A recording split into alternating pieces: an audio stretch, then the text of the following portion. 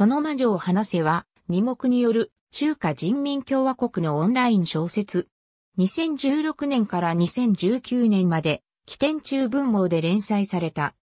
本作品は中世ヨーロッパ風の異世界の第四王子に転生した青年エンジニアが前世での知識を駆使して魔女たちを救い、世界に変革をもたらす姿を描くファンタジー小説である。著者の二目は越文集団にところ属する人気作家である。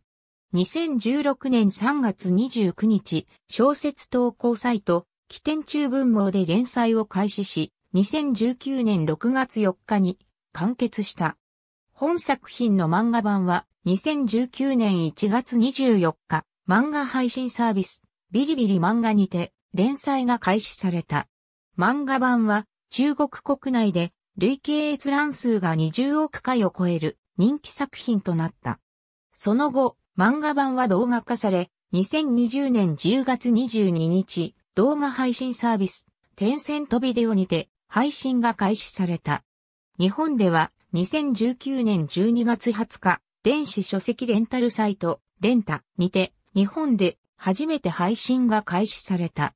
ある日、仕事の締め切りに追われていた青年エンジニアが目を覚ますと、自分が灰の砦王国の第四王子であるローラン・ウィンブルドンになっていることに気がついた。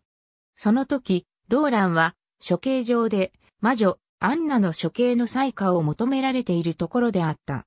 野蛮さに辟易し、ひとまず処刑の延期を命じたローランは、その夜、地下牢でアンナに会い、事情を聞いた。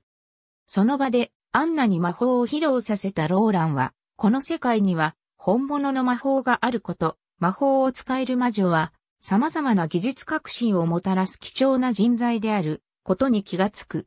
ローランは魔女を救い、世界に変革をもたらすことを決意するのだった。ありがとうございます。